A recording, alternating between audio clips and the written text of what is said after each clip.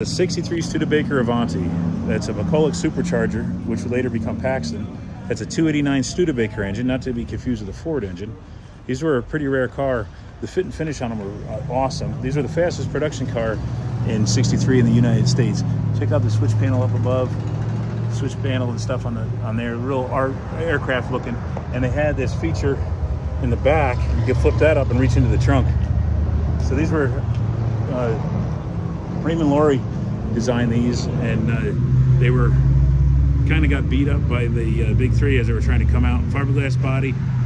They got a built-in roll bar into the headliner there. Comes down in in an X-frame.